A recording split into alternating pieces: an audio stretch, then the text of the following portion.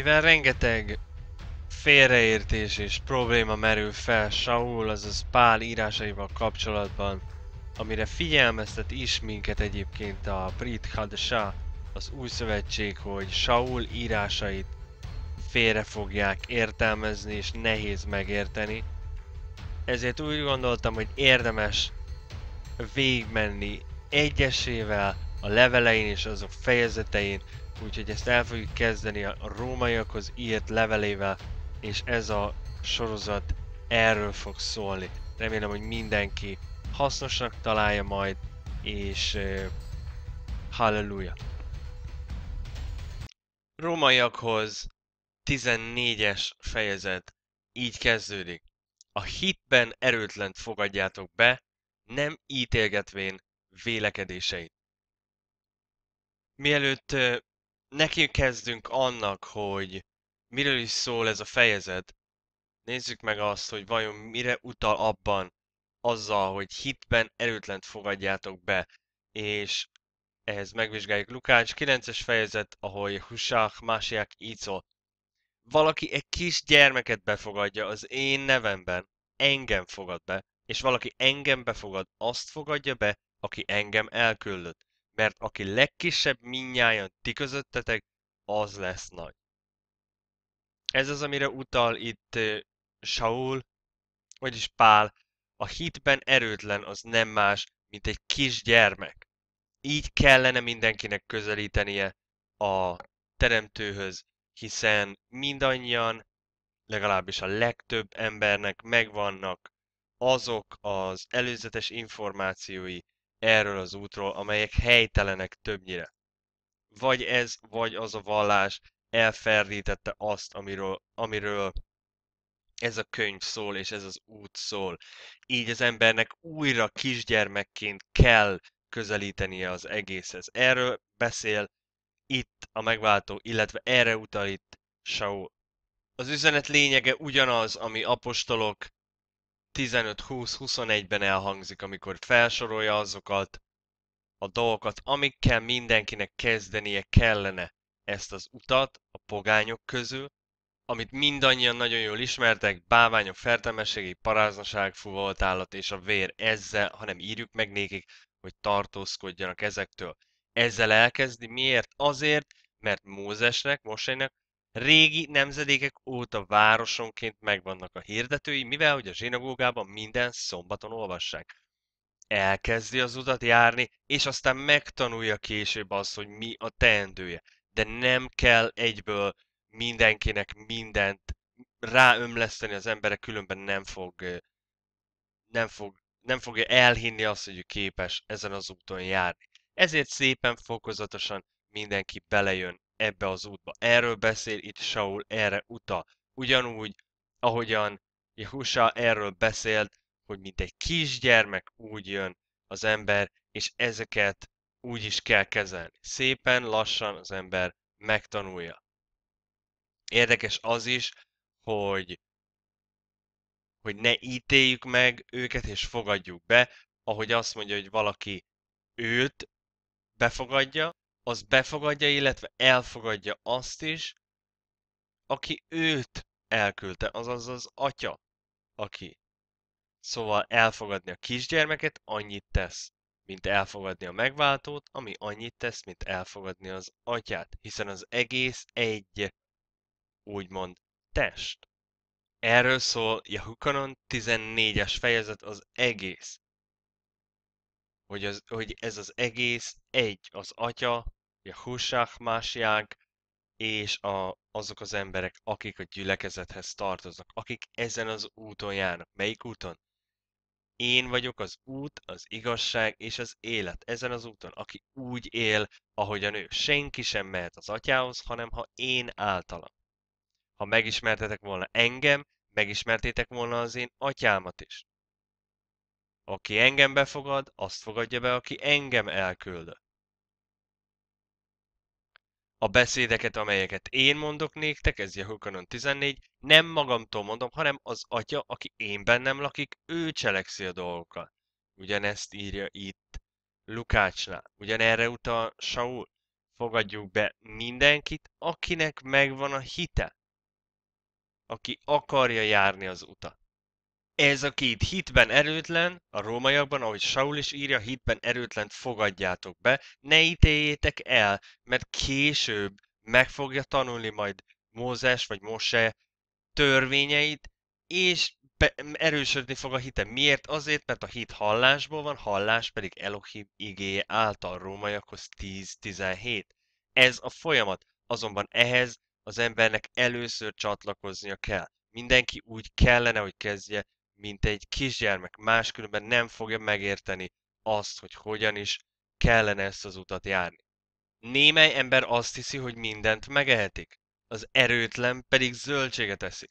Aki eszik, nevesse meg azt, aki nem eszik. És aki nem eszik, ne kárhoztassa azt, aki eszik, mert Elohim befogadta őt. Nyilván ez egy, egy újabb kérdéses kijelentése Saulnak, azonban egyértelmű az, hogy miről beszél. A hit az, mindig az, az a fejezet eleje az, ami megadja az alapot a később elhangzókhoz. Nyilván ő nem fejezeteket írt, és hogyha megnézzük az előző fejezetet például, ez egy egész más témát taglal, azonban az alapvető motivum az egésznek mégis ugyanaz. A hitből való igazulás, illetve a hit megerősítése. Különböző kérdésekre válaszol teljesen egyértelműen kiderül ebből a fejezetből. A rómaiaknak kérdéseik vannak, problémáik vannak, ő ezeket próbálja megoldani. Ez a, a legnagyobb gond ez az írásaival, hogy az emberek nem hajlandók elfogadni azt, vagy nem értik, hogy ő válaszol bizonyos problémákra. Őt megkeresik levelekkel, és ő ezekre válaszol. Nem tudjuk megérteni a teljes üzenetet, hiszen nem nem látjuk azt, azokat az írásokat, melyekre ezek a válaszok, azokat a problémákat csak ki tudjuk találni, hogy, hogy valószínűleg azzal küzdöttek, hogy vita volt köztük, hogy mit lehet enni, és mit nem. Vannak olyanok, akiknek a hite gyengébb, ők azt gondolják, hogy csak zöldséget lehet enni. Van, aki már megértette, hogy hogy működik ez az út, az bármit ehet, ami ételnek minősül. Nem bármit, ami él, vagy ami nem él, vagy bármit, amit letesznek elé, azt nem fogja megenni. Arról beszél, hogy bármit meged, ami ételnek minősül. Azonban az emberek közt itt az a vita, hogy lehet-e húst tenni, vagy sem. Azt szeretné elkerülni, hogy vita legyen ezen emberek között arról, hogy, hogy vajon lehet, vagy sem. Négyes, te kicsoda vagy, hogy kárhoztatod a más szolgáját? Miért más szolgája? Azért, mert mindannyian szolgálunk Jahuának és Jahusának. Az ő tulajdon urának áll vagy esik, de meg fog állani, mert Jahua képe, által képes, hogy megálljon. Honnan is tudjuk ezt, hogy mi mindannyian Jahuát szolgáljuk, illetve Jahusát, azért, mert Lukács 4-es fejezet 8-as versből kiderül, felelvén pedig Jahusa mondanéki. Ez ugye Satán, mikor megkísérti őt a pusztában. Távozz tőlem, Satán, mert megvan írva, Jahuát a te hatalmasságodat imád, és csak néki szolgálj. Többek között 5 Mózes, Debarim 6-os fejezet, félj Jahuát a te hatalmasságodat, ő néki szolgálj, és az ő nevére esküdjél. Szóval innen kiderül az, hogy mi is az, amiről Saul beszél. Ne kárhoztad más, kárhoztasd más szolgáját, hiszen mi mindannyian a teremtő szolgái vagyunk, és a mi viselkedésünk által az ő lelkiismeretük elkárhoz, elkárhozhat. Apostolok 27-es fejezetben Saul saját magára érti ugyanezt, mert az éjjel mellém áll egy angyala Elohimnek, akié vagyok, akinek szolgálok is. Elohimnek szolgál, és Elohim tulajdona. Ezért írja azt, hogy más szolgáját ne károztass. Lehet, hogy azt gondolja, hogy ehet, hús lehet, hogy azt gondolja, hogy nem, vagy ezt tehet, vagy azt tehet. A lényeg az, hogy Jahua által képes lesz megállni. Azonban, ha össze-vissza eszik mindenféle dolgot, akkor Jahua nem fogja segíteni. Honnan tudjuk, ez ki fog derülni a későbbiekben, hogy miért. Ötös vers. Emez az egyik napot különbnek tartja a másiknál, amaz pedig minden napot tart. Azaz egyformának tart. Kiki a maga értelme felől legyen meggyőződve. Ugyanúgy arról beszél, amiről az eddigiekben. A, az erőtlen hitűekről szól. És ennek tükrében kellene megvizsgálni ezt a verszakot szintén. Aki az egyik napot különbnek tartja a másiknál, valaki minden napot egyformának tart, hiszen mindenki a saját értelme alapján járja az utat. Mindenki más szinten jár, mindenkinek más szinten van a hite. Ez nem jelenti azt, hogy, hogy ugyanott kell maradnunk, ahol elkezdjük. Nem mondhatja az ember örökké, hogy én nekem gyenge a hitem, vagy én nekem mindegy, hogy melyik nap, vagy én ehetek bármit. Az ember elkezdi szépen, ahogy tanul, egyre többet és többet tud meg, és alakítja az életét. Egy ideig elfogadható az, hogy az ember össze-vissza eszik mindent, hogy mindenféle napokat megtart. Egy idő után azonban az embernek fejlődnie kell és tanulnia, és utána eljut arra a szintre, ahol lennie kellene mindenkinek. Megérteni azt, hogy van különbség a napok között, hogy vannak ünnepnapok, melyeket hua eh, meghatározott, illetve van szombatnap, és a többi, és a többi. Ideig elfogadható az, hogy minden napot egyformának gondol, hiszen az ő értelme az, ami határt szab ennek. Tanulás és a fejlődés elengedhetetlen ezen az úton. Ez erre az egyik nagyszerű példa második Timóteushoz, második fejezet, igyekezzél, hogy Elohim előtt becsületesen megállj, mint oly munkás, aki szégyent nem val, aki helyesen hasogatja az igazságnak beszédét. Másik fordítás, talán valamivel jobb. Igyekez mindent megtenni, hogy Elohim tetszését elnyerjed. Légy Elohimnek olyan szolgája, akinek nem kell szégyenkeznie Adonai előtt semmiért, és aki helyesen tanítja és alkalmazza Elohim igazságait.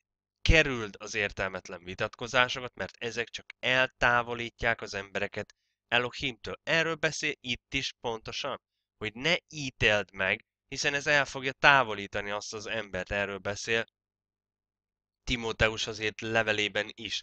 Tanulj, igyekez, fejlődj, és aztán egy nap majd eljutsz oda, amit ő elvár tőled, ami a tökéletesség. Aki ügyel a napra, az a huáért ügyel, és aki nem ügyel a napra, az a huáért nem ügyel. Aki eszik, az a huáért eszik, mert hálákat áld Elohimnek. És aki nem eszik, az Jehoáért nem eszik, és hálákat ad az Elohim.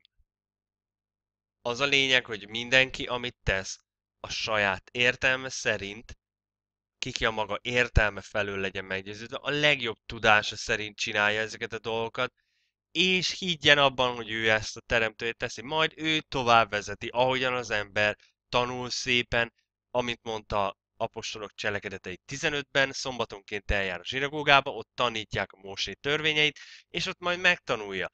Aztán megérti, hogy lehet enni, hogy van szombatnap, hogy vannak ünnepnapok, és szépen alakítja az életét. Erről beszél, nem arról, hogy úgy maradhatunk, mint egy kisgyermek, folyamatosan csak fogalmunk sincs semmiről, és csak csináljuk azt, ami, ami nekünk jónak tűnik. Első Timóteushoz írt levelének negyedik fejezetében ez teljesen egyértelműen kiderül, hogy mi az, amiről beszél. Mert Elohimnek minden teremtett állata jó. Úgy, ahogyan azt ő megmondta a teremtéskor, mikor megteremtette őket, megmondta, hogy látja, hogy, mind, hogy jó. Ennek ellenére meg fogjuk nézni, hogy mi történt. És semmi sem megvetendő, ha hálaadással élnek azzal. Mert megszenteltetik Elohimnek igéje, és könyörgés által. Nem minden szenteltetik meg Elohim igéje által. Lehet, hogy mi hálaadással élünk vele, lehet, hogy mi imádkozunk fölötte, vagy könyörgünk, azonban egy részlet hiányzik, az pedig az, ami megszenteltetik Elohim igéje által. Mert Elohimnek minden teremtett állata jó, és semmi sem megvetendő, ha hálaadással élnek, mert megszenteltetik Elohim igéje által.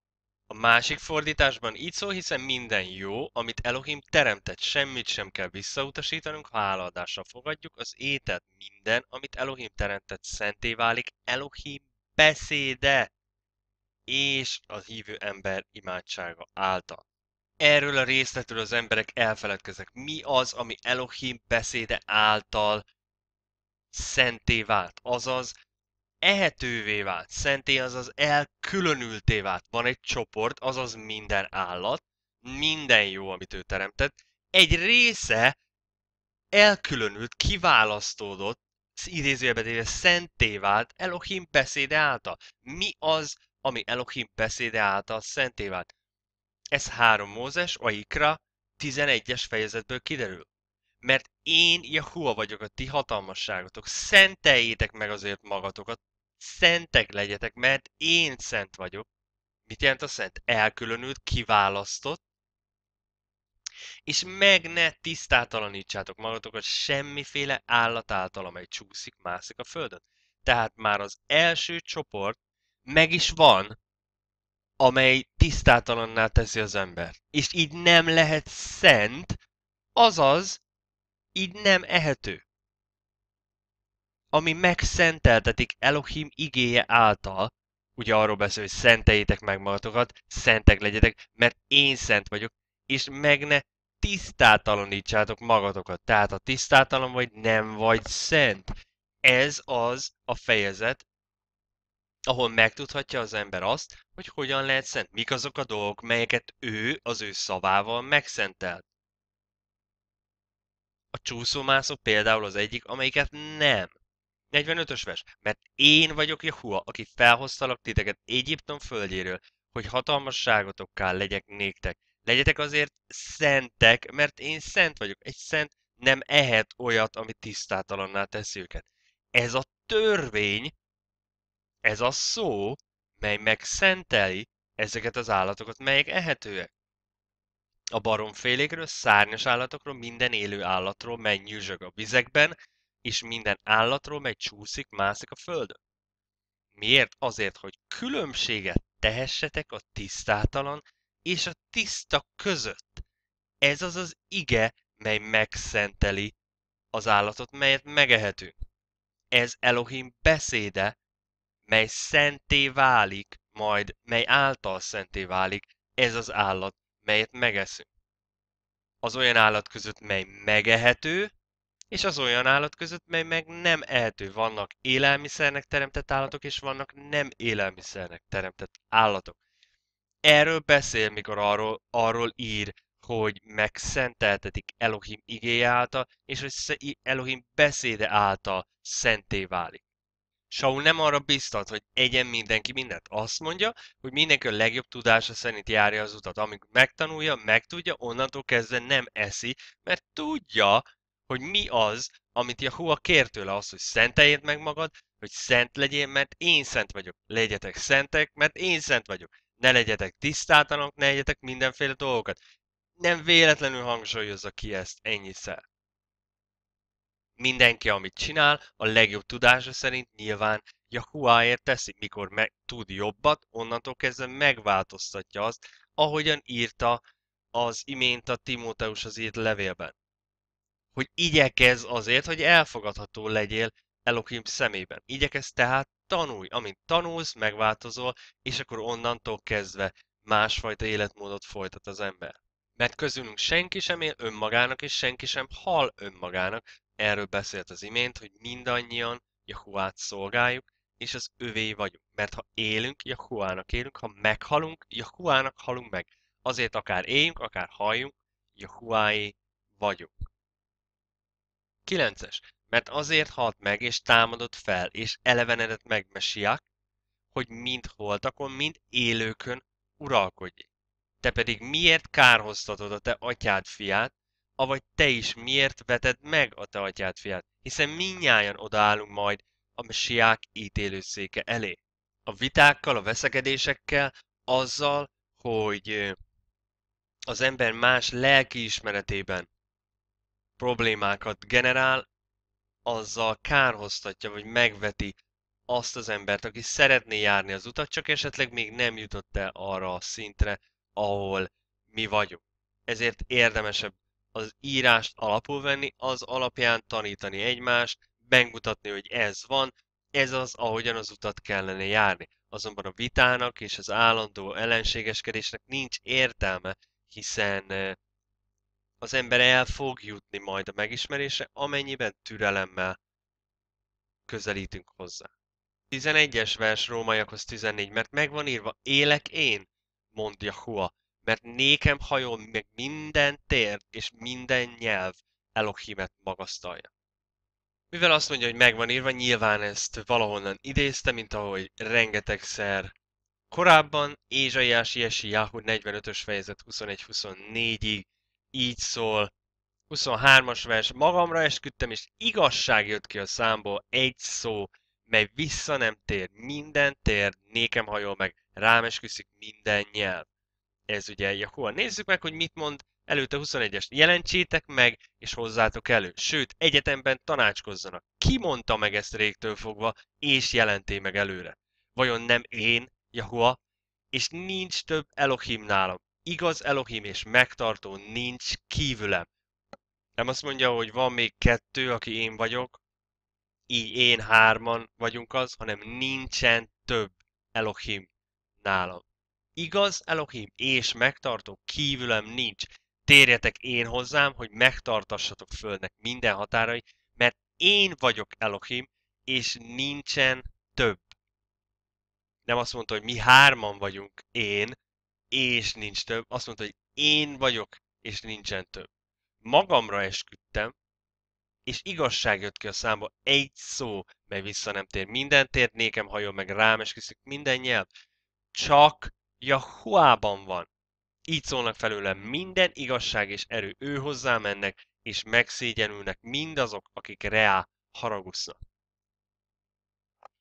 Innen idézett Saul, erről beszél, hogy Jahua az, akit mindannyian szolgálunk, az ő igazsága az, melyet nekünk keresnünk kellene. Az pedig az ő szava, melyeket leírt a törvényben, a profétákban és a zsoltárokban, azért, hogy mi abból tanulhassunk. Ha nem megyünk vissza oda, nem fogunk tudni tanulni, akkor nem igyekszünk, és a végén nem fogunk tudni elkülönülni a világtól, hiszen örökké csak a saját fejünk után fogunk menni. 12-es vers így szól, azért hát mindenikünk maga ad számot magáról Elohimnek. Mindenki, aki arra hivatkozik, hogy azt teszik, amit akarok, mert én Yahuáért teszem, azt a napra figyelek, amelyet akarok, mert Yahuáért teszem, az a későbbiekben számot fog adni magáról. Aki nem igyekszik, aki nem tanul, aki nem változtatja meg az életét, mindenki számot fog adni magáról. Miért? Azért, mert elmondja, hogy hiszen minnyáján odaállunk majd a messiák ítélőszék elé. Ki is volt ez a messiák? Jahukanon egyes fejezetből megtudhatjuk, kezdetben vala az ige, az ige vala az Elohimnél, és Elohim vala az ige. Ez kezdetben az Elohimnél vala. Minden ő általa lett, és nála nélkül semmi sem lett, ami lett. Ő benne vala az élet, és az élet vala az embernek világossága. És a világosság sötétségben fénik, de a sötétség nem fogadta be azt. 14-es vers ugyanitt, és az ige testélet és lakozék mi közöttünk, aki teljes vala kegyelemmel és igazsággal. Ez Jakussá Hamásiák. Ő az, aki meg fog ítélni minket. Az a szó, amit ő beszélt, az fog megítélni minket. Eljött, megmutatta, hogy kellene élnünk, áldozattá vált mindenki bűnéért, aki elfogadja, aki úgy él, aki úgy cselekszik, ugye Hukanon 14-es fejezetből kiderül, aki úgy cselek, aki őt követi, az azt cselekszi, amit ő csinál. Úgyhogy elég egyértelmű, hogy miről beszél itt Saul. Mindenki maga ad számot, mindenki oda kerül az ítélőszéke elé, és az a szó, amit ő mondott, az fogja megítélni, hiszen ő volt maga az a szó. Honnan eredt a szó? Elohimtől eredt a szó. Ez az igazság, ez a világosság, ez a kétélű kard, Erről szól a könyv. Rómákhoz 14-13-as, és annak okáért egymást többé ne károztassuk, hanem inkább azt tartsátok, hogy a ti atyátok fiának ne szerezzetek megütközést, vagy megbotránkozást. Azaz fölöslegesen ne vitatkozzatok és ne ellenségeskedjetek. Az nem azt jelenti, hogy nem kell segíteni, vagy terelgetni az útra a másikat. Arról van szó, hogy mindenek megvan a módja, megvan az ideje, és mindenkinek megvan ebben a szerepe. 14-14. Tudom, és meg vagyok győződve, Adonai Jehusában, hogy semmi sem tisztátalan önmagában, hanem bármi annak tisztátalan, aki tisztátalannak tartja. Pont. Ezzel viszlát, mindent lehet enni, és azt csinálunk, amit akarunk, mondhatná valaki. Azonban, ha megnézzük jobban, hogy mit is ír valójában, akkor rájövünk a jelentésére. Meg van győződve és tudja, a Jehusak másjába vetett hit által, hogy semmi sem tisztátalan önmagában, hanem bármi annak tisztátalan, aki annak tartja. Mivel is kezdődött az egész? A hitben erőtlent fogadjátok be, nem ítélgetvén vélekedéseit. Né- némely ember azt hiszi, hogy mindent megehet, némely pedig azt, hogy zöldséget eszik. Ne vessétek meg, ne kárhoztassátok, ne veszek egyetek, ne ítéljétek el ezeket az embereket, akik azt gondolják, hogy csak zöldséget lehet enni, vagy csak bizonyos dolgokat. Ha ezt figyelemben tartjuk, akkor látjuk azt, hogy arról beszél, hogy az ételek közül, ami, meg, ami evésre volt teremtve azok közül, aki tisztátalannak tart bizonyos dolgokat, az ne egye meg, aki tisztának tartja, az meg egye meg. Nem arról beszél, hogy bármit meg lehet enni, arról beszél, hogy azok közül a dolgok közül, melyek erre lettek teremtve, azok közül a dolgok közül mindenki a saját meggyőződése szerint válogasson. A legfontosabb azonban az, hogy mi az, ami Jahua szerint tisztátalan, hiszen azt mondja, hogy bármi annak tisztátalan, aki annak tartja. Ha mi azt mondjuk, hogy Jahuát követjük, Jahussák másiát pedig az ő szavát hozta el, és őt követte, mi pedig Jahusát akarjuk követni, akkor nézzük meg talán, hogy mi az, amit Jahua tisztátalannak tart. Ezt pedig már elolvastuk, 3 Mózes vagy Ikra 11, meg ne tisztátalanítsátok magatokat, semmiféle állat által megcsúszik, mászik a földön. Egy. Elmondta 3 Mózes Vajikra 11-ben, mi a tisztátalan, mi a tiszta, miért? Azért, hogy különbséget tehessetek tisztátalan és tiszta között. Ha ezt figyelemmel kísérjük és észben tartjuk, akkor látjuk azt, hogy bármi annak tisztátalan, aki tisztátalannak tartja. Jakua ezeket tartja tisztátalannak, ezek nem ehetők. Honnan tudjuk? Onnan, hogy megmagyarázza az olyan állat között, mely megehető, és az olyan állat közt, mely meg nem ehető. Ezek közt különbséget tesz, innentől kezdve a megehetők közül valaki tisztátalannak tart bizonyos dolgokat, valaki pedig tisztának tart bizonyos dolgokat. Ezen fölösleges vitázni, ellenségeskedni, elítélni másokat, ha valaki azt mondja, hogy, a, hogy ő nem eszik húst ezért vagy azért, akkor ne egyen halleluja. Mindenki Jakusák másiákban Jakuát szolgálja. Nem arról beszél, hogy csigát lehet enni, vagy disznót, vagy bármiféle más ilyen férge. Aki még mindig nem érti, vagy a kisgyermek szinten van, annak szépen el tudjuk magyarázni, hogy ez nem egy zsidó törvény, ez nem Mózesnek a törvénye, ez a kezdet kezdetétől így volt. Honnan tudjuk? Onnan, hogy már Noénak is, Noachnak is elmondta, Beresít hetes fejezetben, mondta Jahua Noachnak, menj be te, és egész házad népe a bárkába, mert téged láttalak igaznak előttem ebben a nemzedékben. Második, minden tiszta baromból, hetet hetet vígyve, hímet és nősnét, azokból a barmokból pedig melyek nem tiszták, kettőt, kettőt, hímet és nőstényét. Égi madarakból is hetet, hetet, hímet és nőstényét, hogy magvok maradjon az egész föld színén. Azaz már év ezredekkel Mosé előtt, és azelőtt, hogy zsidó egyáltalán gondolatban megfogalmazódott Jakobban, már akkor tiszta és tisztátalan barmok voltak a földön, és mindenféle állatok. Erről szól ez a néhány vers. Felhívta Noach figyelmét, hogy tiszta baromból heted, míg a tisztátalanokból kettőt kettőt. Miért? Azért, mert már akkor is különbséget tettek, de nézzünk még egy példát erre. Ez Bereshit 8-as fejezet.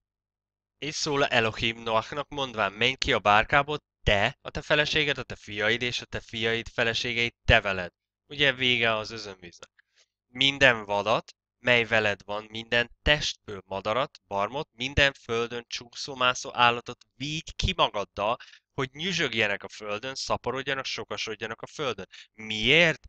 Azért, mert minden jó, amit Jahua teremtett. Ezért mondta, hogy kettőt, kettőt vigyen be belőlük, hogy meglegyen, hogy biztosan legyen magja, hogy elszaporodhasson a földön. Teljesen mindegy, hogy csiga volt, vagy disznó volt, vagy nyúl volt, vagy sólyom volt. Vagy ló. Mindegyikből szerette volna, hogy legyen, mert mindegyikről úgy gondolkozott, hogy jó. Azonban ez nem azt jelenti, hogy mindegyikről úgy gondolkozott, hogy tiszta. Honnan tudjuk? Onnan, hogy a 20-as versben ezt elmondja. És oltárt építeni Noach Jahuának, és ő minden tiszta állatból, és minden tiszta madárból, és áldozék égő áldozattal az oltáron. Azért nem, mert nem minden volt tiszta. Nem azt mondta, hogy valamit fogjál meg, és áldoz föl az oltáron nekem. Megmondta, hogy minden tiszta állatból, tiszta madárból, amelyeket én felsoroltam neked, áldozzá. Ennek az áldozatnak mellesleg az lett az eredménye, hogy Jahua többé nem pusztítja el a világot özönvíz által. És a szivárvány szövetségét megkötötte Noachal. De ez kellett az, hogy legyen tiszta állat.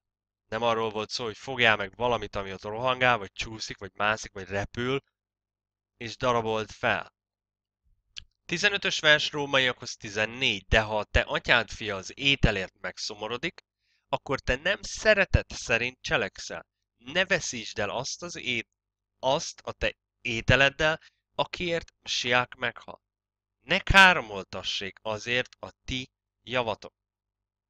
Ha valaki abban van meggyőződve, hogy nem ehet valamit, hagyjuk rá, majd, hogyha tanul, meggyőződik róla, hogy mi az, amit lehet, mi az, amit nem, vagy pedig ő így döntött. Ezen fölösleges veszekedni, teljesen ö, fölösleges ezzel ellenségeskedés szítani a gyülekezeten belül.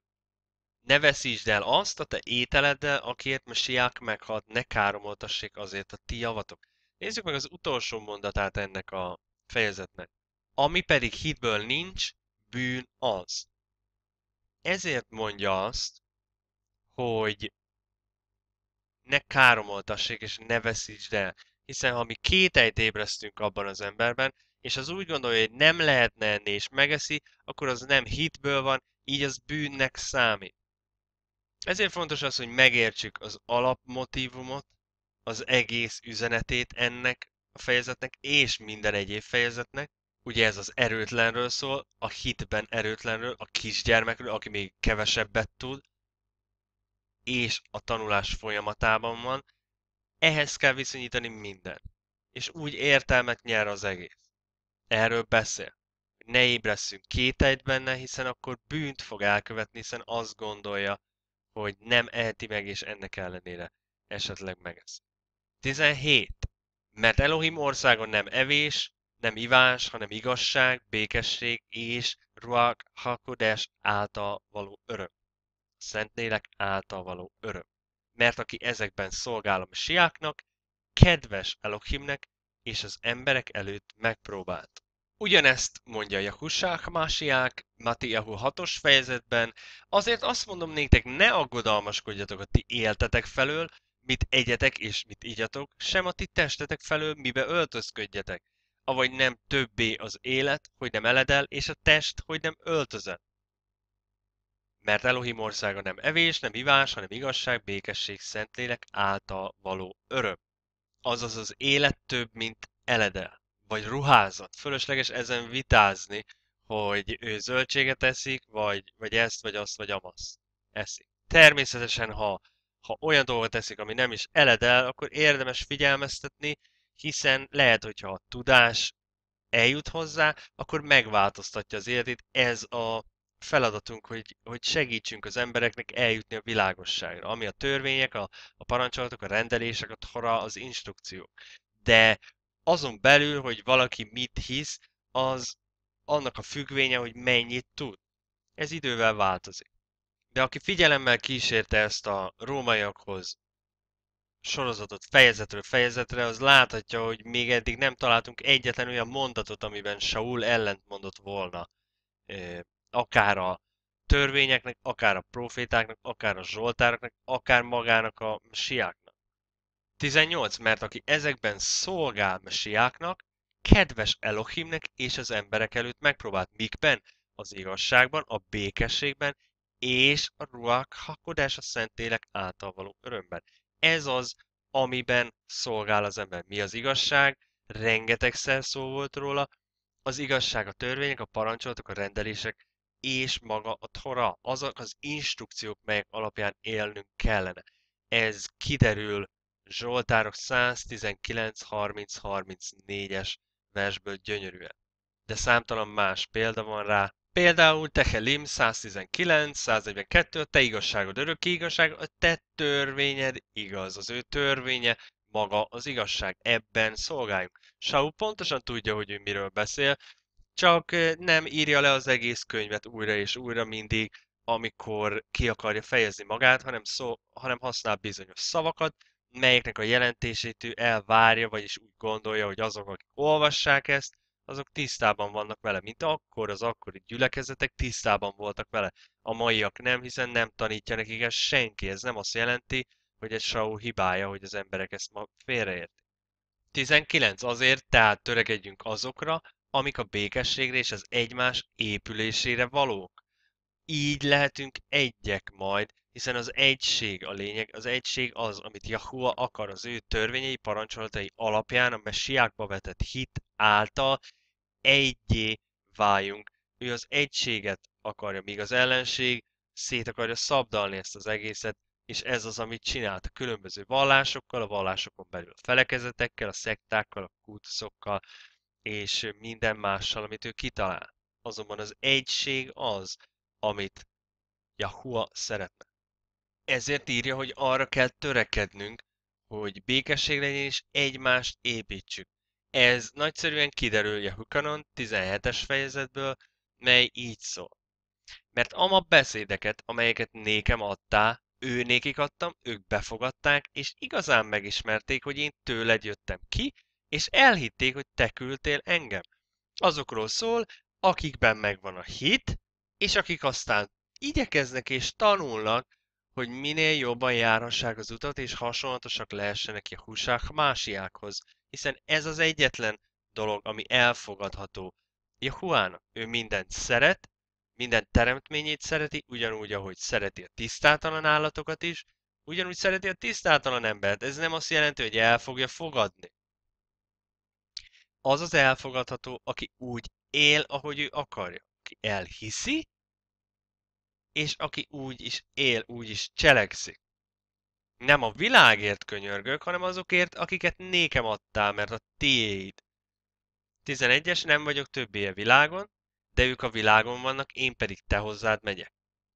Szent atyám, tartsd meg őket a te nevedben, akiket nékem adtál, hogy egyek legyenek, mint mi. Ezért írja, hogy békesség és egymásra épülés legyen, hiszen akkor lesznek egyek azok az emberek, akik alkotják ezt a testet. Mint a sejtek a testben, a részei a testnek egyet alkotnak, egymásra épülnek. Így lesznek egyek. 22-es versben megismétli, hogy minnyáján egyek legyenek, mint te, én bennem, atyám, és én te benned, hogy ők is egyek legyenek mi bennünk, hogy elhiggye a világ, hogy te küldtél engem. 22-es versben tovább folytatja, én, és én azt a dicsőséget, melyet nékem adtál, ő nékik adtam, hogy egyek legyenek, amiképpen mi egy vagyunk. Én ő bennük, és te én bennem, hogy tökéletesen egyé legyenek, és megismerje a világ, hogy te küldtél engem, és szeretted őket, amiként engem szerettél. Nem jelentheti azt, hogy ők egy és ugyanaz, csak három része van az egynek, vagy mit tudom én. Ugyanúgy egyek legyenek, legyünk mi, mint ahogy ők egyek. Egy véleményen legyünk, harmóniában dolgozzunk, ugyanazt az üzenetet közvetítsük. Így, egy egységgé legyenek. Nem, nem egy darabbá, és akkor annak van három feje, vagy három része, és akkor az így. Az a lényeg, hogy egy, egy véleményen legyenek. Egy, egy elv szerint éljenek. Erről beszél. Ugyanúgy, ahogy egynek kellene lennie magának a gyülekezetnek is. Ez az, amire törekednünk kellene. 20 Ne roncsd le az ételért Elohim munkáját, minden tiszta ugyan, de rossz annak az embernek, aki botránkozása lesz. Megbeszéltük, hogy mi az, ami tiszta. Ugye az, amire azt mondta Elohim, Jahua, hogy az tiszta. Annak, aki, aki úgy gondolja, hogy az nem tiszta, vagy nem lenne szabad azt ennie, annak az nem tiszta, hiszen az nem hitből eszi azt, és így bűnt követel. Hiszen már láttuk azt, hogy minden, ami nem hitből van, az bűn ezért ne ítéljük el, nem mondjuk azt, hogy ó, pedig ehetnéd nyugodtan, meg te, te nem tudod, meg nem érted, meg nem ez a lényeg. Nem az a lényeg, hogy mit eszik az ember, vagy mit visel az ember. Erről beszélt az imént a megváltó maga is. Az pedig, hogy Saul követi a törvényeket, egyértelműen kiderül apostolok cselekedetei 24-es fejezetből. Nézzük, hogy mit is mond. 13-as. Rám sem bizonyíthatják azokat, amikkel most engem vádolnak. Ez ugye Saul mondja Félixnek, mikor az kihallgatja. Nézzük meg még egyszer a másik fordítást. Azt sem tudják bizonyítani, amivel most vádol. Nézzük meg, hogy mivel vádolják. Erről pedig vallást teszek néked, hogy én az szerint, az út szerint, melyet felekezetnek vagy szektának mondanak, úgy szolgálok az én atyáim hatalmasságának, mint aki hiszek mindazokban, amik a törvényekben és a profétákban meg vannak írva. Akkor, ha nem tudták rábizonyítani, hogy ő nem így él, akkor ezek szerint hitt a törvényekben, a profétákban, és úgy élt. Ezt mondja. 16. Ebben gyakorlom pedig magamat, hogy botránkozás nélkül való lelkiismeretem legyen az Elohim és emberek előtt mindenkor, a törvények és a proféták szerinti élet alapján. Az alapján, az út alapján, amelyet szektának mondanak. Nem amit kereszténységnek mondanak ma, hanem amit akkor szektának mondanak. Mondtak. Nézzük meg a másik fordítást, és ki fog derülni nagyszerűen. Azt is elismerem, Kezdjük az elején. Azt sem tudják bizonyítani, amivel most vádolnak. Azt is elismerem, hogy atyáink hatalmasságát olyan módon tisztelem, ahogyan Jahua útjának követői teszik. Akik engem vádolnak, ezt az utat szektának tekintik és ellenzik. Ez Adonai Yahushua Hamásiák útja, ami Jahua útja, hiszen a kettő egy egységet alkot. Ő azt szerint él, ahogyan Jakusa élt. Mi is az? Én, én azonban hiszek mindabban, ami Mózes törvényében és a proféták könyveiben megvan írva. Hittel él a törvények és a proféták alapján. Ez maga az út, amit szektának hívnak. Nézzük meg, hogy mit ír a jegyzetekben. Az Úr útjának követői szó szerint az út követői. Jahusa mondta magáról, hogy ő az út, az atyához ezért nevezték így tanítványainak mozgalmát. 16. Ezért teljes erővel arra törekszem, hogy lelkiismertem mindig tiszta legyen Elohim és az emberek előtt. Hogy lehetne tiszta a lelkiismert Elohim előtt, ha mindenféle dolgokat enne, meg annak ellenére beszélne, amit ő mondott? A lényeg az, hogy egyértelműen kiderül, amennyiben amennyiben helyesen értelmezzük az írás, és megkeressük a dolgoknak az összefüggéseit, hogy Saul a törvényeket hirdette, hiszen itt is arról beszél, hogy nem tudták bebizonyítani, hogy ő a törvények és a proféták ellenére él. Saul pedig ezt az utat követte, amit Jahushá Hamásiák kijelölt. Mi volt az az út? A törvények szerinti élet, és úgy, hogy közben teljes erőből, teljes szívből, teljes lélekből, teljes elméből, Jahuát szolgálja és szereti az ember. Ez az út. Azonban a farizeusoknak hiányzott a hit, a mai keresztényeknek hiányzik minden más. Ezért a kettő között az a keskeny út, ami a szűk kapuhoz vezet, akinek megvan a hite, és aki a törvények szerint él.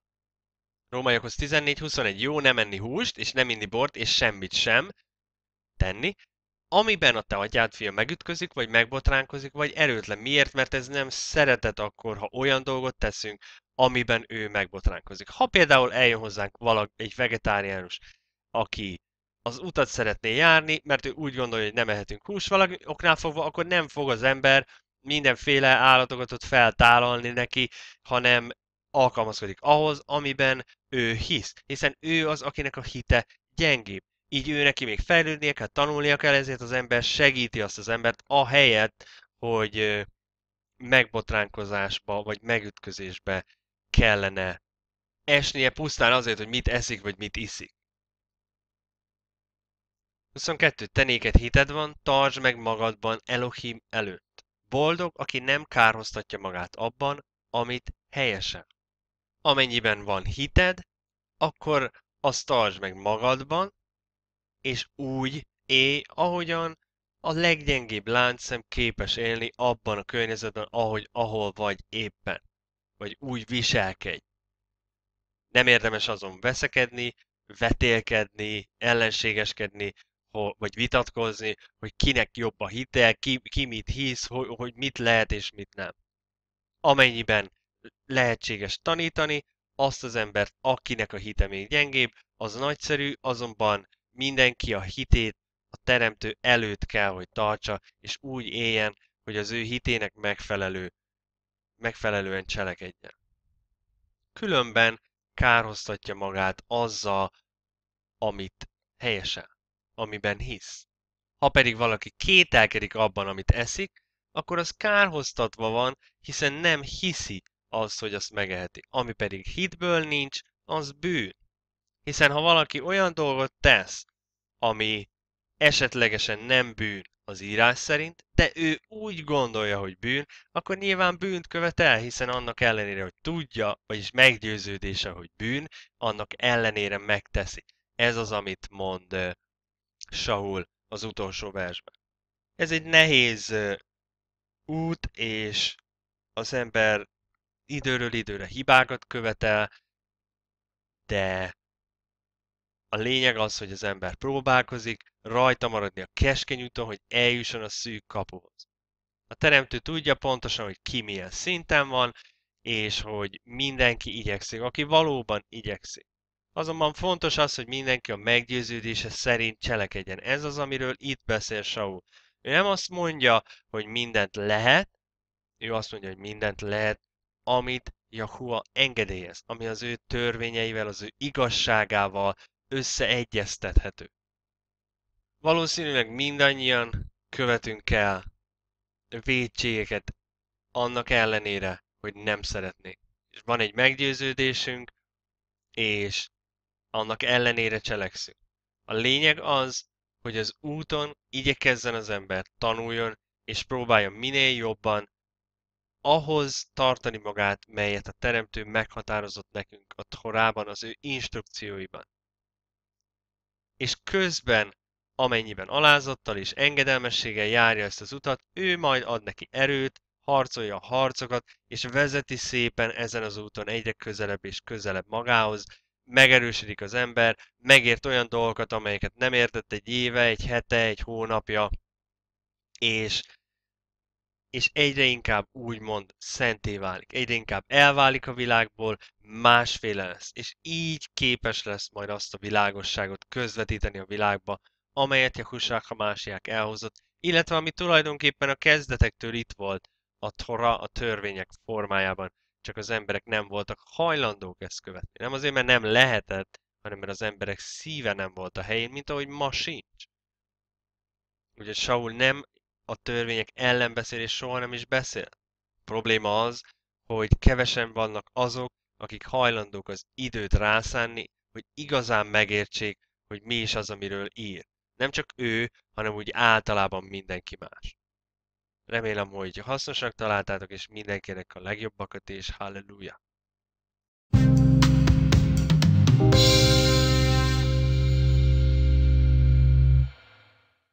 Még annyit hozzátennék, hogy a Google Plus-on is megtalálhatjátok az Infobubble csatornát, mind a kettőt, ahol extra tartalmakat helyezek el, és akit érdekel, átböngészhetitek ezeket is. Kövessétek mind a kettőt. Amennyiben tetszett a videó, kérlek kattintsatok a like gombra. Ha hasznosnak találtátok, osszátok meg ismerőseitekkel, és bármiféle hozzászólásatok, megjegyzésetek, javaslatotok van, azt ide írhatjátok, valamint az elérhetőségeket megtaláljátok a leírás részben, ahol kapcsolatba léphettek velem, és még sok extra információt is találtok itt. Mindenkinek a legjobbakat. Halleluja!